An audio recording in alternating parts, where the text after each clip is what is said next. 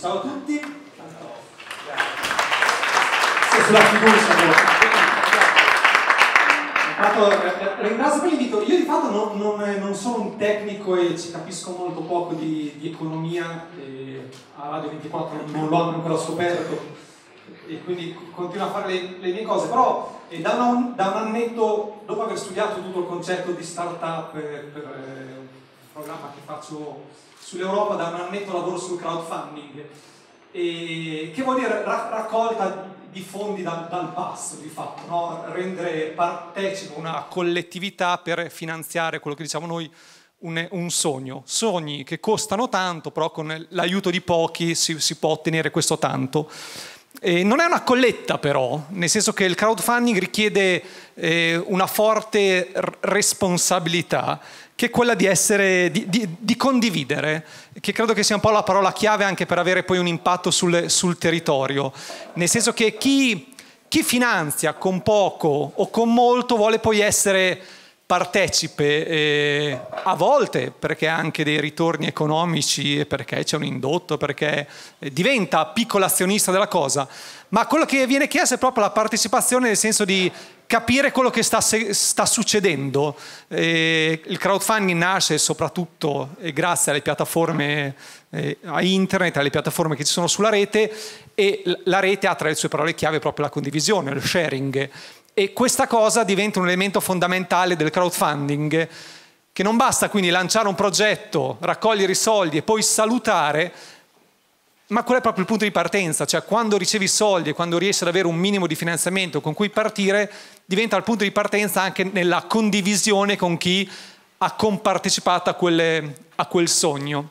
E io racconto storie di crowdfunding e sono eh, progetti molte volte eh, vi, vicini al concetto di, di utopia, eh, vicini anche al concetto di, di follia, no? quella follia sana che ti permette di, di andare al di là dell'asticella. Eh, però credo che insomma, sia, il crowdfunding sia proprio una piccola molla per chi ha voglia di, di osare. Poi se l'osare sia una piccola azienda che nasce o sia un viaggio in monopattino in giro per il mondo, eh, a me fa- che faccio il, il narratore di queste storie poco interessa.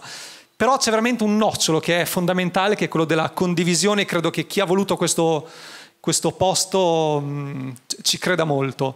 Eh, due cose che mi interessano, interessa buttare come sassolini, poi anche per la chiacchierata di dopo. Eh, ho visto un sacco di start-up nascere.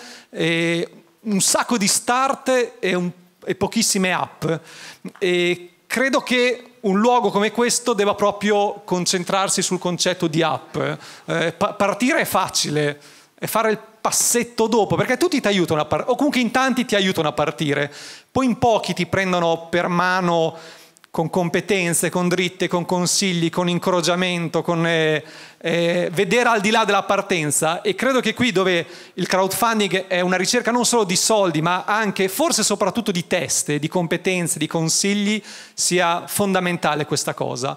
La seconda è quella sulla comunicazione, tante parole inglesi, tante parole belle che suonano bene, è fondamentale poi farsi capire è importante raccontare quello che si fa, dove si vuole andare, cosa si sta combinando, eh, perché sennò nasce un muro e se nasce un muro ci risiamo, non riesco a far condividere il mio sogno con le persone a cui sto chiedendo aiuto. Quindi avere l'umiltà di farsi capire, che vuol dire non parlare solo addetti ai lavori, vuol dire non usare solo i termini che fanno tendenza in quel momento, avere la pazienza magari di spendere un minuto in più per raccontare e far vedere quel sogno che si ha in testa.